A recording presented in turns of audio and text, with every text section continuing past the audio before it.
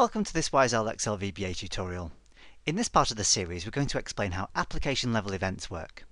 We'll begin the video with a quick recap of workbook and worksheet events before we move on and show you how you can access the application level events, which is a little bit trickier to do. We'll focus on one particular example of an application level event called the new workbook event, and this is triggered every single time you begin a brand new blank workbook in Excel. Once we've written some code to handle that event, we'll then move on and show you how you can enable the application level events. And the final part of the video will quickly show you how you can use a class module, just to make the whole system a little bit neater and tidier. So it's not a very long video, but let's get started. In a previous video in this series, we talked about how to use workbook and worksheet events to trigger code automatically as users naturally work in your workbooks. So as a very brief recap as to how that works, imagine for instance I wanted something to happen every time a user inserts a new sheet into this workbook. I can use the new sheet event of the workbook object to achieve that. So to make it work I'll need to go back to the VB editor, which I can do again of course either from the developer tab and the Visual Basic button, or by pressing Alt and F11 on the keyboard. And then in the VB editor, I need to identify which object contains the events that I want to access. So the new sheet event is attached to the this workbook object. So if I double click on that object, I'll get a code page associated with this workbook. I can then use the drop-down list at the top of the code page to select the appropriate object and then the appropriate event. So using the drop-down list at the top left-hand corner first of all, there should only be one choice in there at this point, which is the workbook object. As soon as I choose an object, it then provides me with a default event for that object, which isn't the one that I want in this case. It gives me the open event of the workbook. So to select the, uh, the new sheet event, I'll need to use the drop-down list at the top right-hand corner.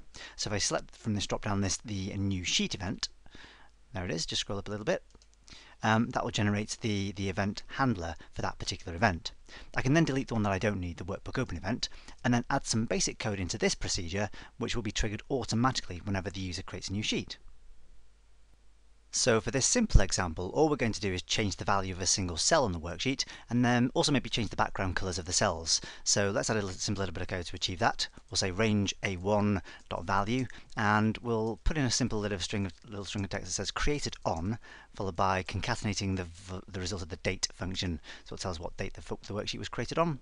And then we'll change the background colour of all the cells on the worksheet. So we'll say cells.interior.color equals, and then let's see, uh, RGB pink why not? Um, choose a different colour if you like, if you're following along.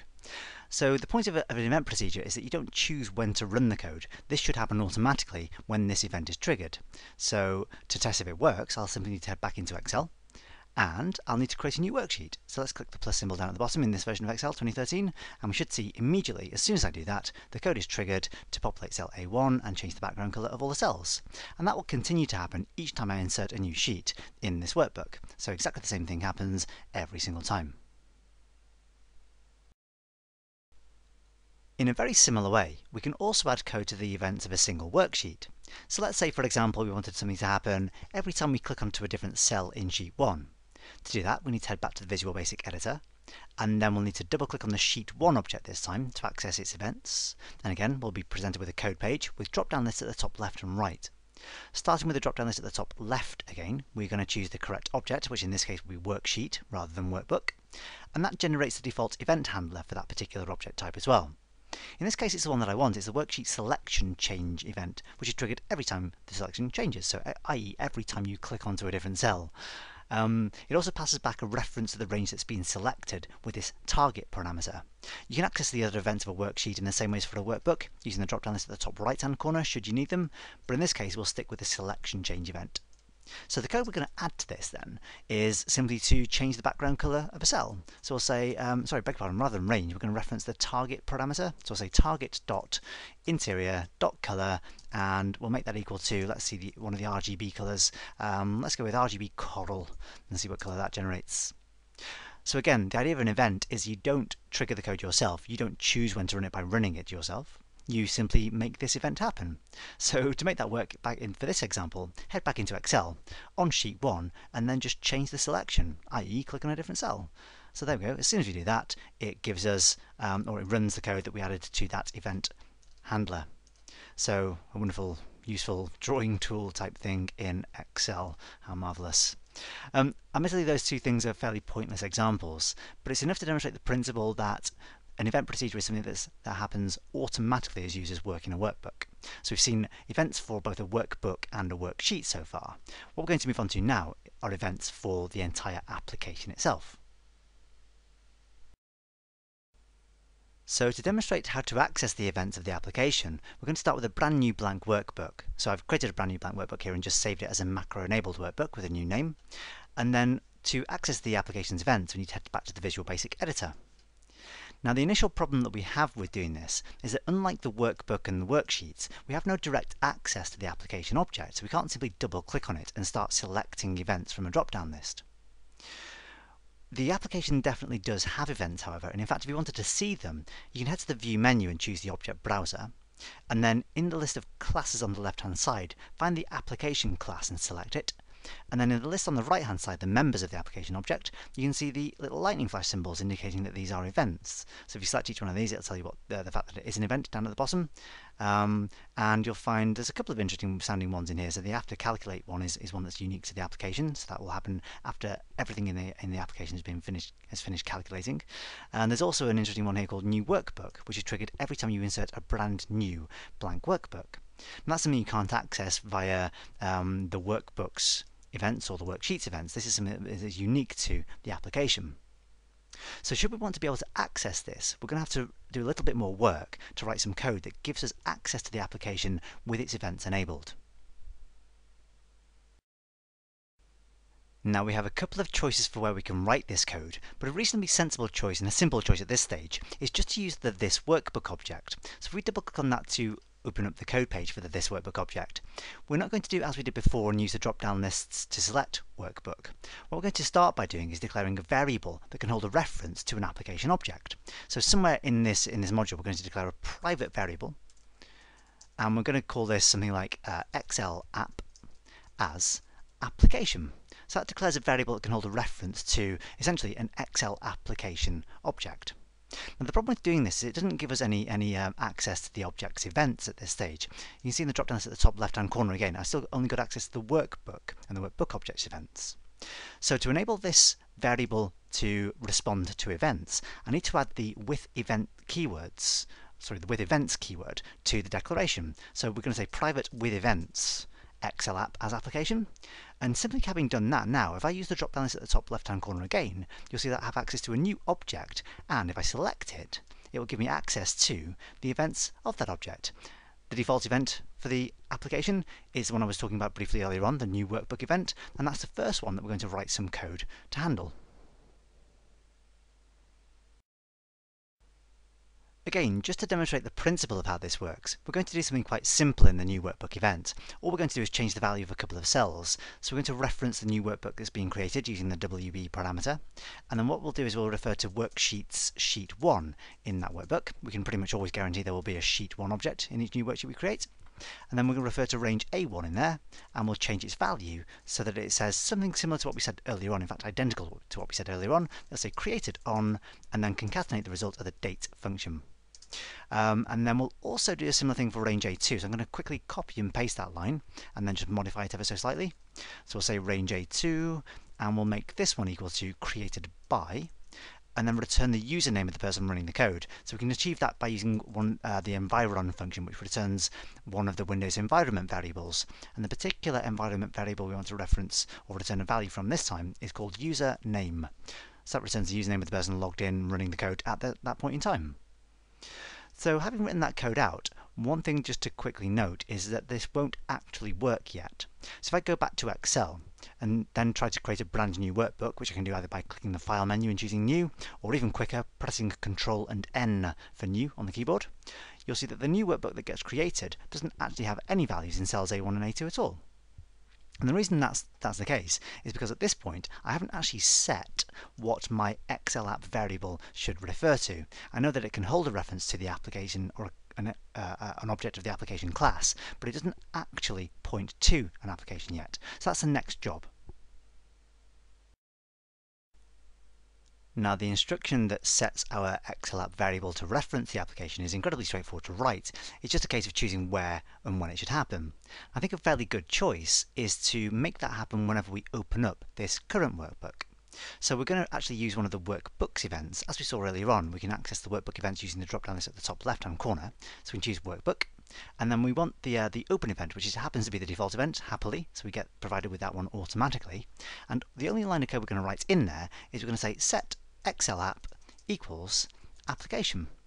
So that simply sets our variable to refer to the application object, the existing one, and it enables the events so it can, can respond to events, which means that now from that point on, whenever we open up the workbook, the applications events are enabled, and the only one we've written any code for at this point, of course, is a new workbook event.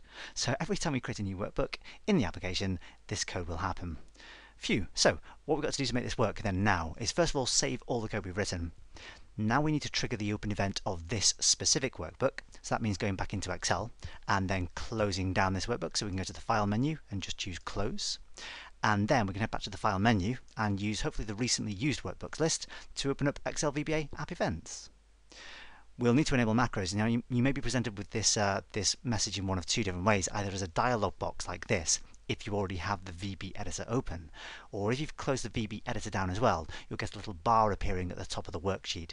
Um, so if you uh, if you click the enable macros or enable content button, whatever it says on that button to make sure your code runs, and then we should find now that all of our code for the application events is enabled automatically. So once again, I'm going to hold down the control key and press N for a new workbook.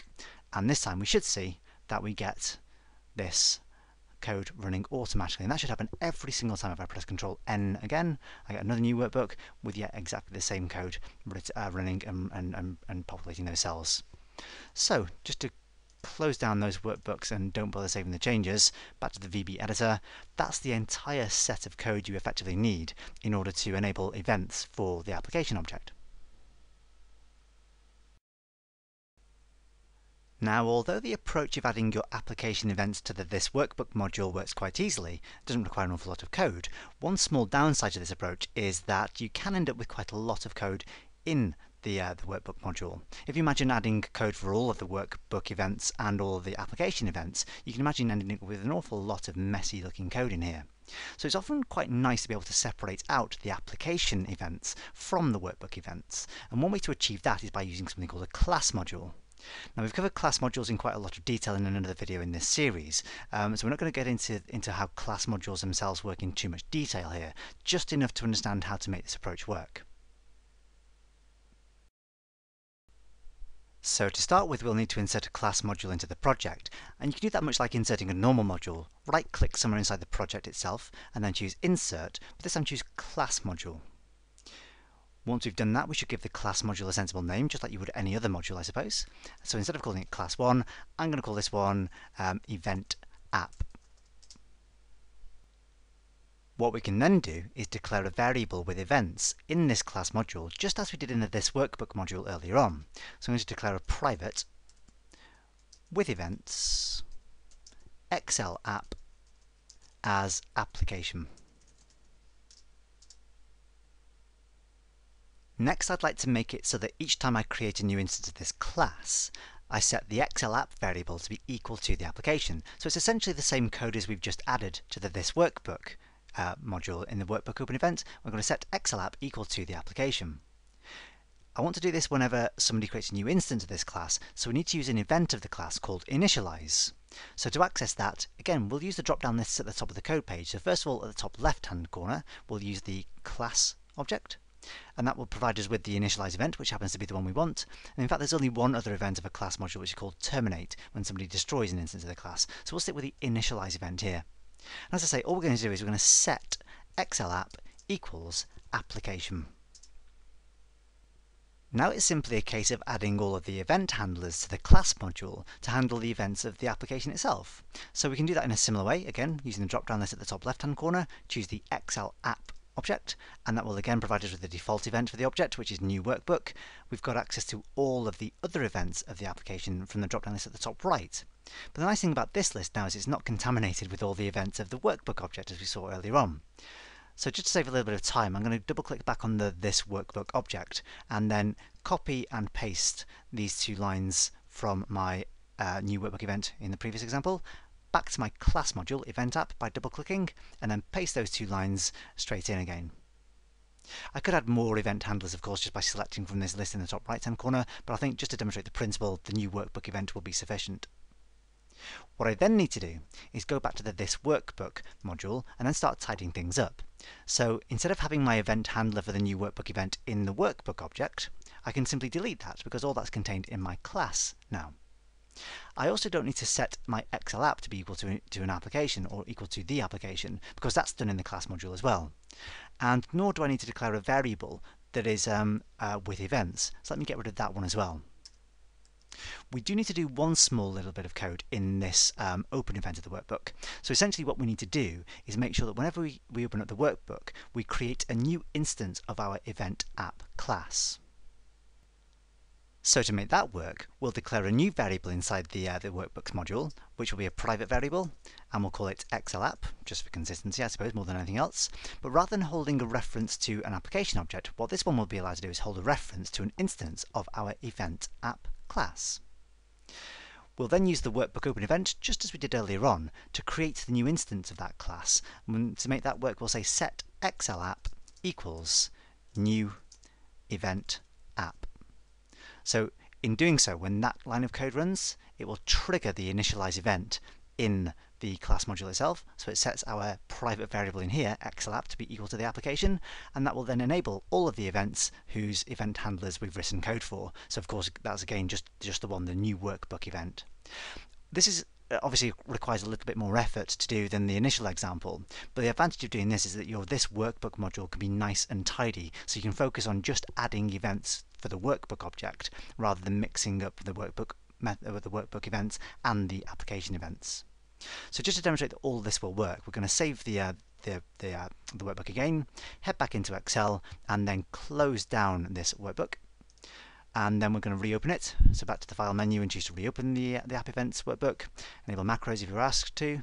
And we should find again that if we create a brand new workbook by pressing Control N, the uh, the same code still runs for the workbook or the new workbook event. So there we go. There's the basics of how you get access to the events of the Excel application rather than just the workbook and the worksheet objects. Hopefully you'll be able to extrapolate from those, those basic principles and do more sophisticated things yourself in the real world. Hope you found it useful. Thanks for watching. See you next time. If you like what you've seen here, why not head over to the Wise Owl website where you can find loads more free resources including these videos, some written blogs and tutorials, and even some exercises that you can download to practice your skills. Thanks for watching, see you next time.